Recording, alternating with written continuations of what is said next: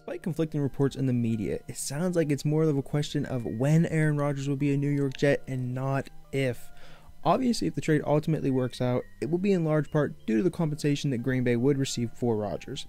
This would be a 100% win move now from the New York Jets in an organization that has struggled to find any postseason success in recent years. While for Green Bay, this would be the Packers signaling that they are willing to take one step back with Jordan Love in the short term in hopes that he and the team can take three or four steps forward in the next coming years. And one has to wonder how much the Packers could get on the trade market for a legendary player like Rodgers.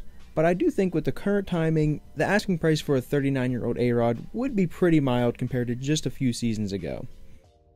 Rodgers was still one of the best quarterbacks in the league last season, and there's no real reason to believe his play will completely fall off by September of this year.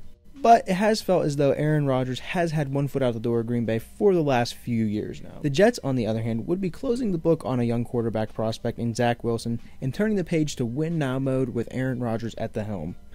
This would be a great move for the progression of second year players, Garrett Wilson, and also Breece Hall.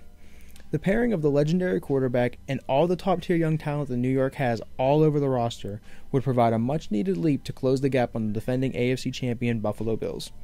Whether or not Aaron Rodgers is traded to the New York Jets has all the potential to be the biggest move of the entire 2023 NFL offseason. And that is all for this video. I hope you did enjoy. If you did, like and subscribe to the channel for more NFL content.